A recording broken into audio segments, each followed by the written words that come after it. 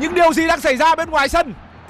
Đó là điều tệ hại. Đó là điều mà chúng ta không muốn được chứng kiến ở một ngày hội của thể thao khu vực. Với thể thao, nó còn có cả những điều vượt trên cả câu chuyện thắng thua. Nhưng những nắm đấm đã được đưa ra, chắc chắn sẽ có những án phạt rất nặng cần phải được đưa ra để ờ, xử lý những nhân vật đã, gọi là, vi phạm trong trận đấu này. Đó là những khoảnh khắc có thể nói là rất thiếu kiểm soát của cả hai bên.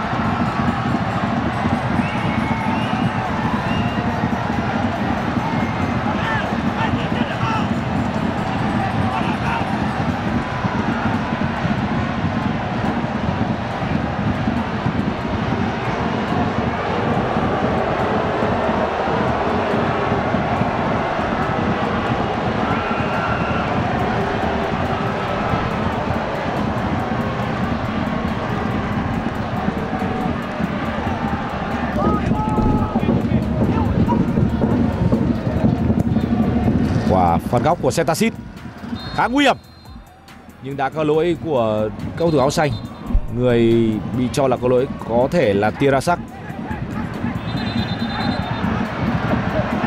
Thẻ vàng dành cho số 8 tiền đạo của U22 Thái Lan Tirasak.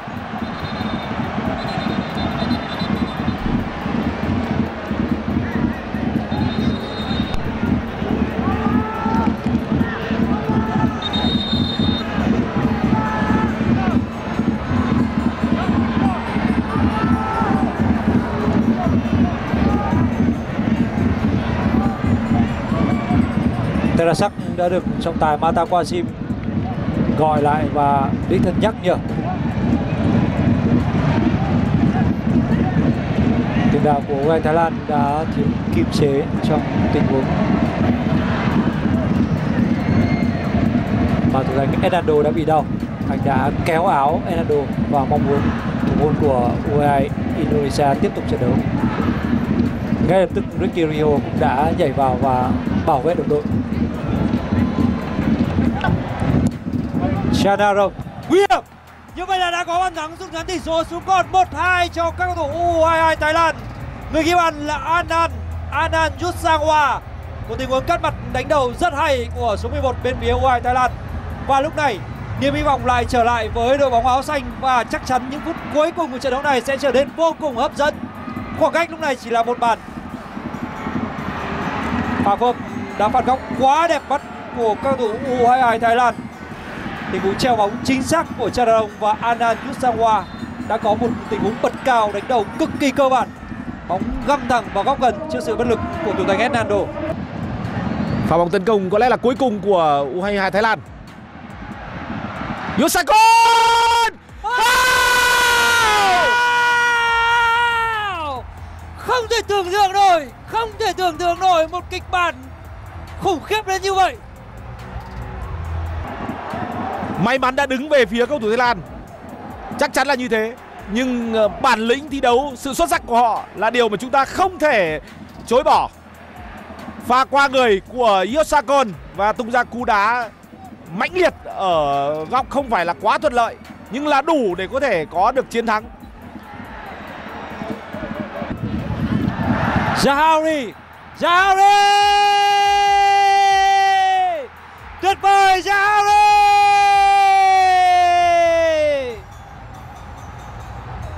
kịch bản thực sự là điên rồ. Họ Có không cần phải thay đổi anh Nam ạ. Họ cứ chơi như vậy ở phía trên đi. Vấn đề chỉ khác một chút thôi. Đó là khi cần thì hãy quay về với chất lượng phòng ngự bên này nhưng điều gì đang xảy ra bên ngoài sân? Đó là điều tệ hại. Đó là điều mà chúng ta không muốn được chứng kiến ở một ngày hội của thể thao khu vực. Với thể thao nó còn có cả những điều vượt trên cả câu chuyện thắng thua. Nhưng những nắm đấm đã được đưa ra, chắc chắn sẽ có những án phạt rất nặng cần phải được đưa ra để ờ, xử lý những nhân vật đã, gọi là, vi phạm trong trận đấu này. Đó là những khoảnh khắc có thể nói là rất thiếu kiểm soát của cả hai bên.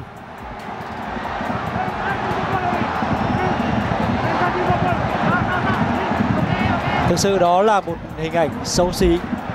Một hình ảnh xấu xí không chỉ của Indonesia và của Thái Lan. Và có lẽ là cả khu vực Đông Nam Á cũng sẽ bị ảnh hưởng bởi những điều này. Tất cả những hình ảnh này ngày mai sẽ tràn ngập trên tất cả các phương tiện truyền thông đại chúng. Tôi nghĩ không chỉ là Đông Nam Á, mà cả châu Á và thậm chí là cả thế giới.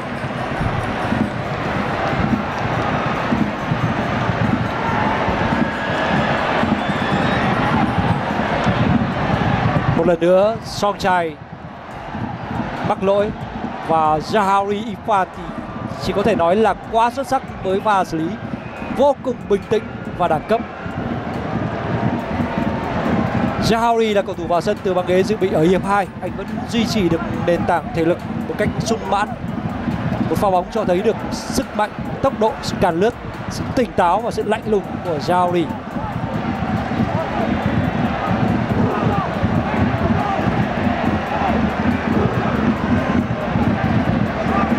Bàn thắng của Ifan Jauri đẹp bao nhiêu thì những hành vi sau đó của các nhân vật phụ bên phía đứng, bên ngoài đường biên thì lại tệ hại được bấy nhiêu.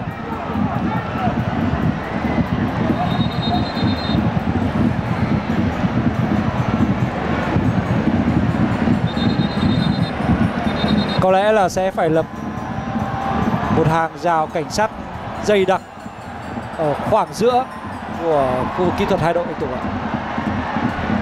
rất có thể là cần phải có sự can thiệp của lực lượng an ninh một cách chặt chẽ hơn nữa để tạo ra khoảng cách giữa hai đội. Thẻ đỏ. Thẻ đỏ. Hai chiếc thẻ đỏ. Mỗi đội bị mất một người nhưng Thái Lan sẽ phải thay thủ môn. Đó là những người đã trực tiếp tham gia vào màn ẩu đả. vâng vẫn sẽ còn những chiếc thẻ đỏ nữa chưa hết đâu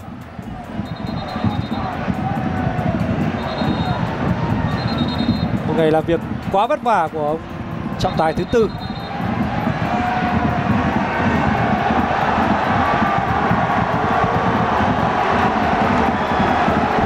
Sẽ còn những chiếc thẻ đỏ nữa cho các thành viên của ban luyện Indonesia. Thẻ đỏ cầm sẵn trong tay rồi. Bây giờ chỉ có tìm đúng người, đúng tội thôi ạ.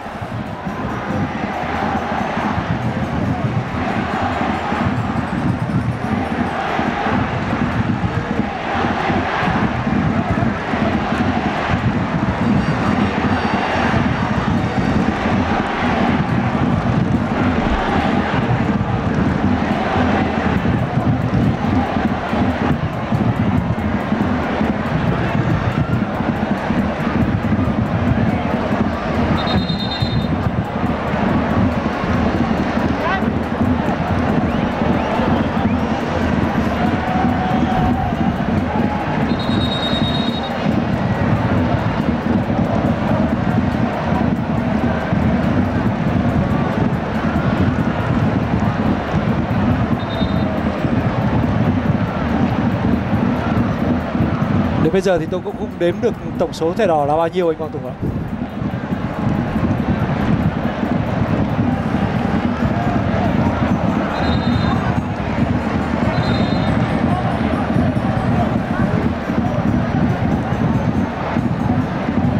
Như vậy là một thành viên khác của ban huấn luyện ờ, đội U22 Indonesia cũng đã bị ờ, uh, truất quyền có mặt ở khu vực kỹ thuật ở phần còn lại của trận đấu.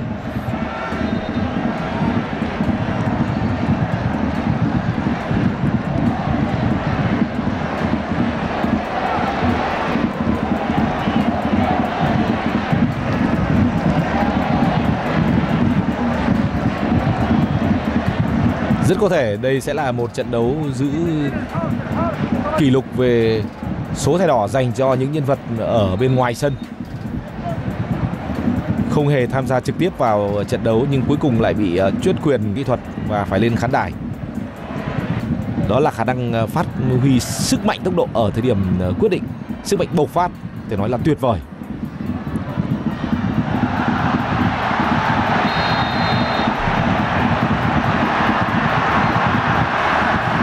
Thẻ vàng thứ hai dành cho Camdi,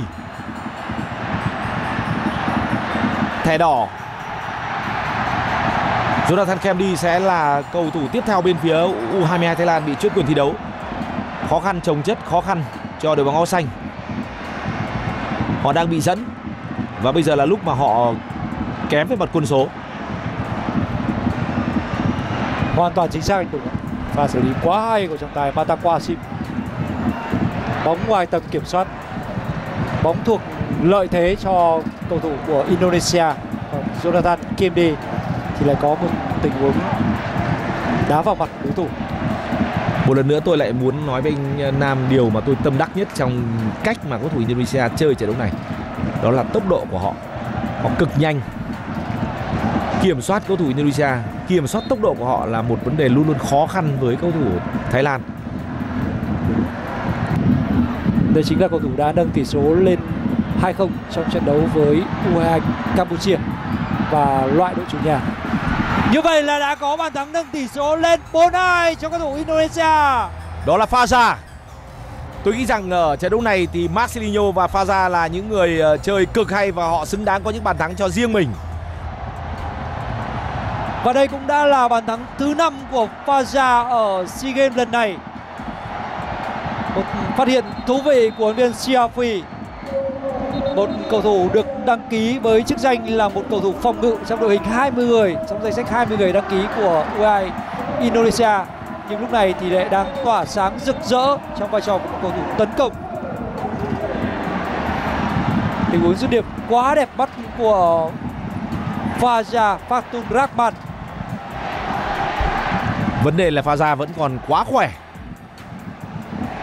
Xoay sở, giữ trụ tốt và không cần đà cũng tung ra một cú đá rất uy lực.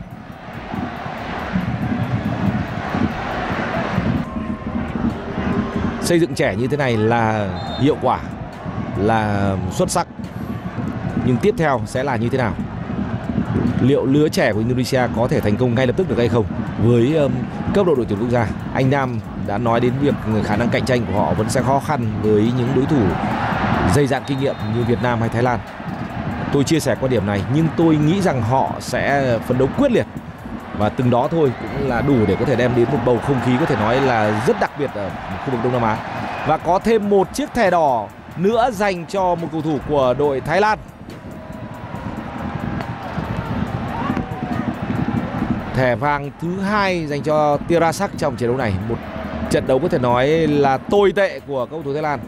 Càng về cuối thì họ càng phải trải nghiệm những điều có thể nói là đáng quên.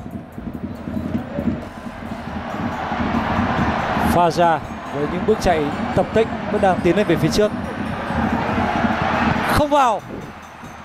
Vẫn còn. Beckham năm hai năm hai cho cầu thủ Indonesia siêu dự bị Beckham Putra vào sân và anh đã tận dụng rất tốt cơ hội để nâng tỷ số lên 5-2 cho các thủ Indonesia. Bây giờ thì ban luyện và các cầu thủ Indonesia chỉ còn chờ tiếng còi kết thúc trận đấu của trọng tài Mata Kwasim thôi. Chức vô địch và chiếc huy chương vàng đã chắc chắn thuộc về họ rồi. Marcelinho chưa có duyên ghi bàn trong trận đấu này, nhưng với Beckham Putra thì anh lại có được sự may mắn đó các cầu thủ U2 Thái Lan cũng đã đổ gục hết xuống sân họ cũng đã chiến đấu hết mình cho đến thời điểm hiện tại. Người đã truy cản trong tiếng vừa rồi là Anan. Anan có lẽ là một trong những điểm sáng ừ, ít ỏi của U22 Thái Lan trong trận chung kết.